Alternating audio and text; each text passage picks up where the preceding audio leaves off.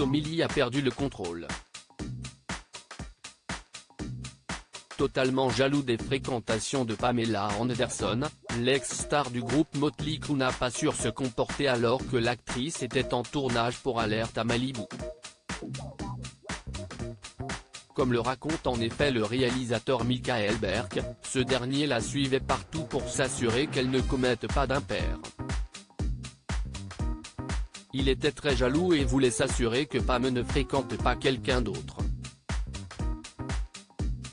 Ça a causé des problèmes dans la série car Pam avait une relation avec David Chokashi.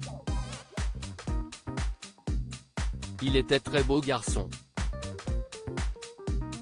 Explique-t-il dans le documentaire Pamela Anderson et Tommy Lee diffusé sur Arte vendredi 15 juillet 2022. Selon ses dires, à l'époque du tournage, Pamela Anderson est même allée le voir pour lui demander un service. Elle m'a dit il y a une scène où je dois embrasser Cody, tu peux la changer? On pourrait se prendre dans les bras?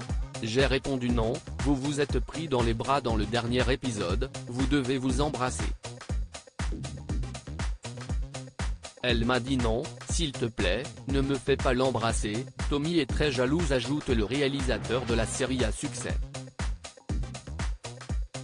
Pamela Anderson, ce jour où elle a pensé mourir sous les coups de Tommy Lee malgré la requête de Pamela Anderson, Michael Berk a jugé que Tommy Lee devait apprendre à se contrôler.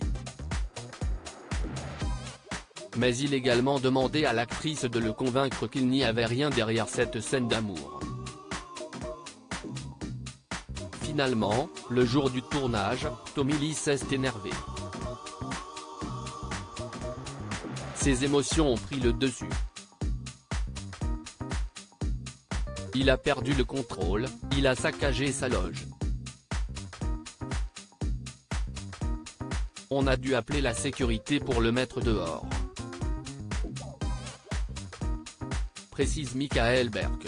La violence de Tommy Lee s'est ensuite dirigée vers sa femme.